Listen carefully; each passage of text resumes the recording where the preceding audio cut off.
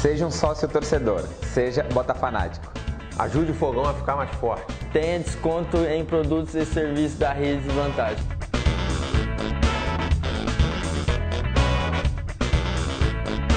Descontos em produtos e ingressos do Botafogo. Você ainda não é sócio torcedor? Vamos mostrar o tamanho da nossa torcida. Vamos mostrar que é orgulho de Ribeirão. Acesse botafanáticos.com.br ou venha até a sala do sócio torcedor no Estádio Santa Cruz. Eu sou Botafanático e você? Tudo isso de benefício? Ainda bem que eu já sou um botafanático.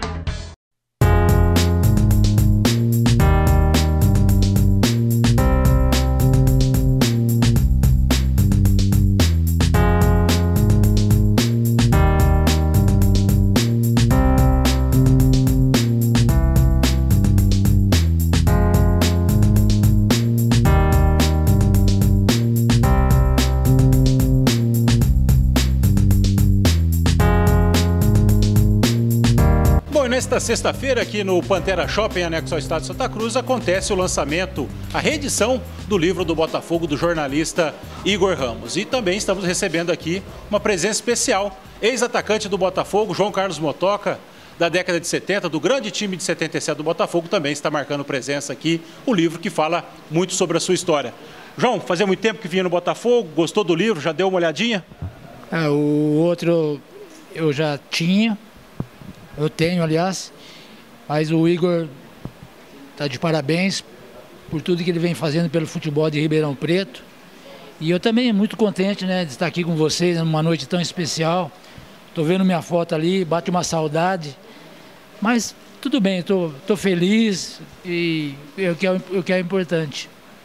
Uma das coisas boas de ser jogador de futebol de um clube igual o Botafogo é passados aí 30 anos mais. Pessoal não esqueceu de vocês, né? Tá aqui o livro, tá ali a foto, sempre importante, né, João? Ainda mais agora com essas redes sociais, né? A gente encontra o pessoal que fazia tempo que a gente não conversava. Encontrei o professor Marcelino, pai do Zé Renato. A gente fica muito contente, né? E não um saudosismo assim, né? Mas a gente vê tanto cara jogando futebol hoje que, que dá saudade, viu? Sinceramente dá saudade.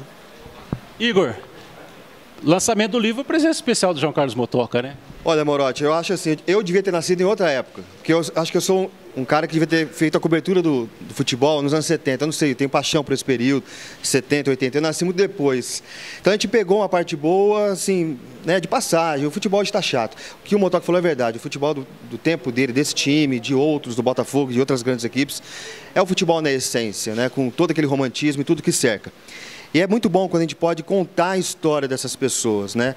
É, evidenciar o que eles fizeram e não deixar cair no esquecimento. E mais do que isso, mostrar para quem não esteve, quem não viu, como que foi, né? Mostrar um pouquinho do que, que essas pessoas fizeram pelo futebol, pelo esporte, pelo Botafogo, é, mais especificamente.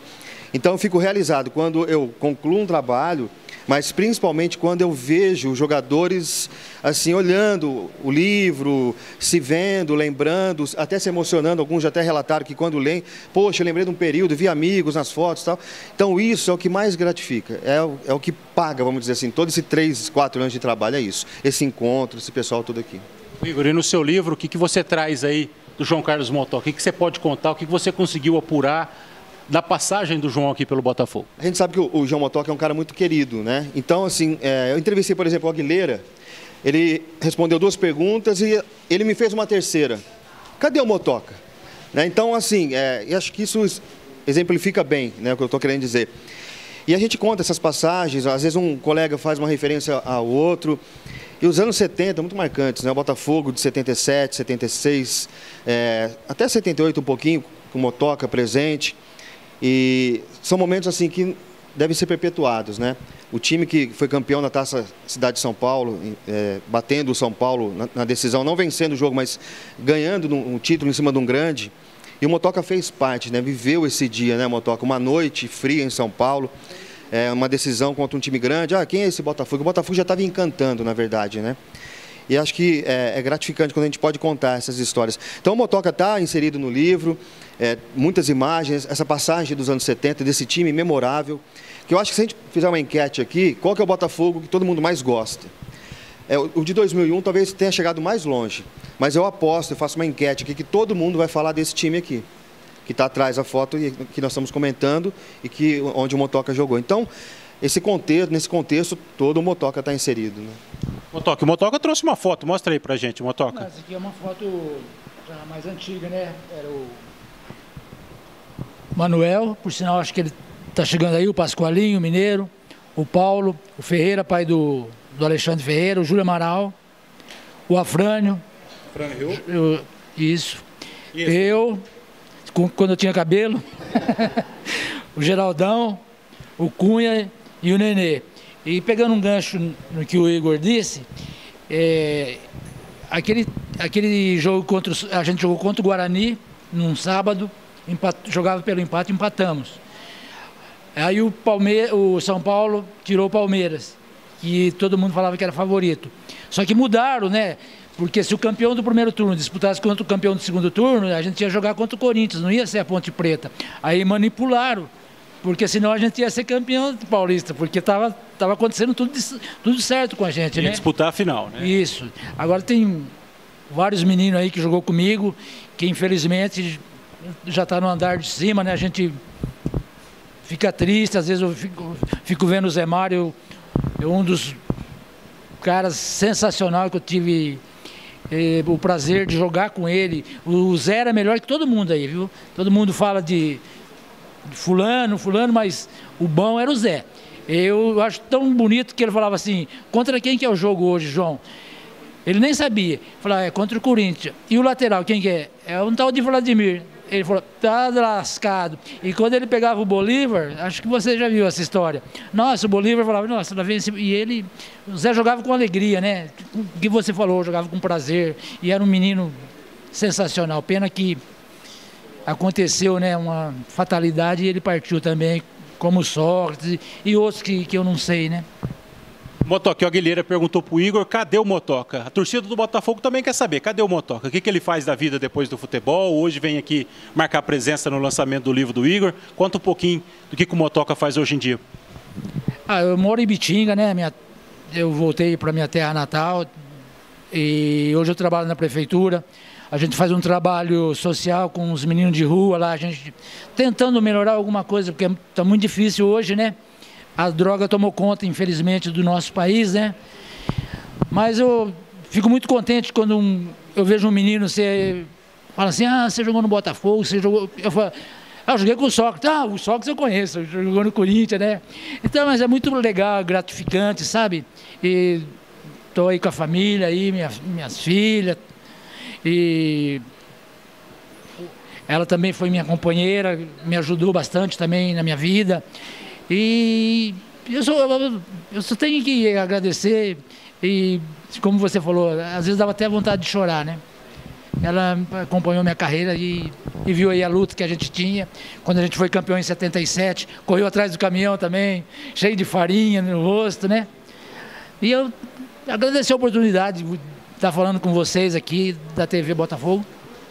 Obrigado, Motoca, pela presença aqui. Seja sempre bem-vindo aqui ao Botafogo, Santa Cruz. Venha com mais vezes aqui para contar aqui para a TV Botafogo mais as histórias de 77, porque tem muita história daquele ano ali, hein? É, a distância eu torço para o Botafogo, tenho acompanhado, vejo o pessoal criticando o Alexandre e, eu fico triste, né? Porque é, treinador é isso, né?